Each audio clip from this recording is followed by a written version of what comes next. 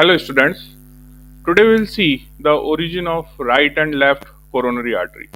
Now in this uh, video you can see that there are two major arteries are visible. Now this is known as right coronary artery. Now the coronary arteries run between the groove of atria and ventricle. So now if you will see here you can see that this is your right side atrium and this is your right side ventricle. Now between them you have a groove is known as atrioventricular groove and this is of the right side so it is known as right atrioventricular groove which is having the right coronary artery. On the left side you have very small part visible here on the anterior surface and this is your left side coronary artery and here you can see the left auricle which is a part of your left atrium and this is your left ventricle. So this small portion is again the coronary sulcus which is visible on the anterior surface.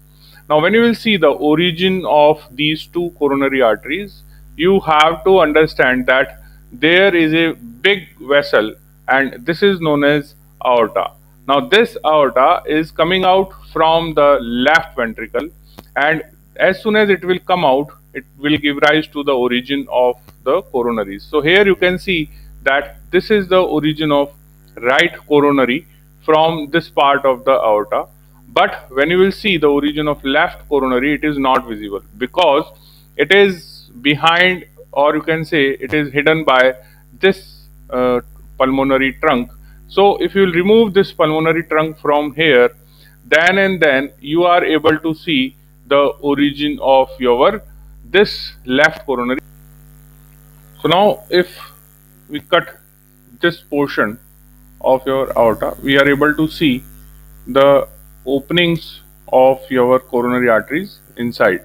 So now I have removed the portion of the aorta. Now here you can see that this is the aortic wall and this aortic wall is having the three semilunar cusps. Now when you will see the cusp, there are two cusps known as coronary sinuses and one is known as non-coronary. Now what is the meaning that you can see there is a internal opening of the left coronary artery here. In the same way you will find that there is a internal opening here of the right coronary. But on the superior surface of this cusp there is no opening of any coronary artery. So that's why this sinus is known as this sinus is known as non-coronary sinus. So what is the meaning of non-coronary sinus?